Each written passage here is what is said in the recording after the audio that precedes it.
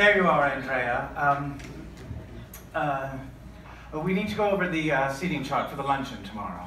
Okay, let me just pull it up.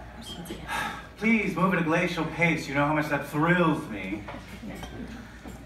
All right, well, the first thing we need to do is find a way to get Snoop Dogg at my table. Your table's full. Uh, no, Steven's not coming. Oh, okay, so I don't need to fetch him from the airport tomorrow.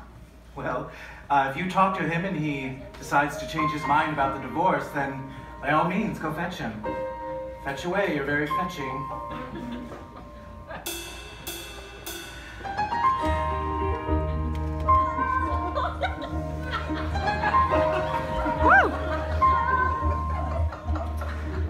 Another divorce, lashed across page six. I wonder what they'll write about me this time. Career obsessed, dragon lady, eternally youthful. Drives away another Mr. Priestly.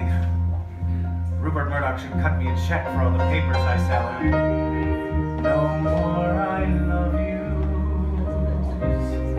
Language is leaving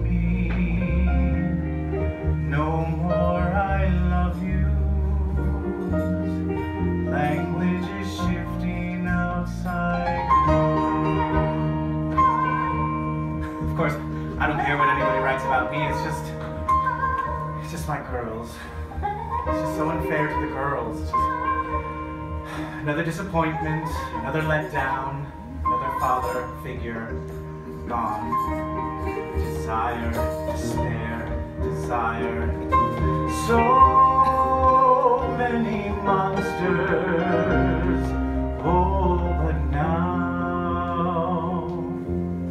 do love him. I really do. I just can't be the woman that he wants me to be.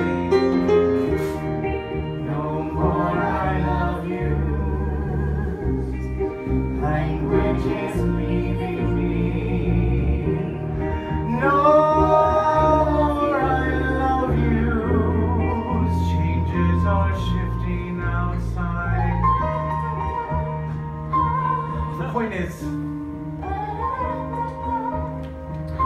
point is, the point is we have to find a place to put Donatella because she's barely speaking to anybody. Brad, I'm so sorry. I, I can cancel your evening tonight if you want. Don't be ridiculous. Why would we do that? Is there anything else I can do? Your job. That's all.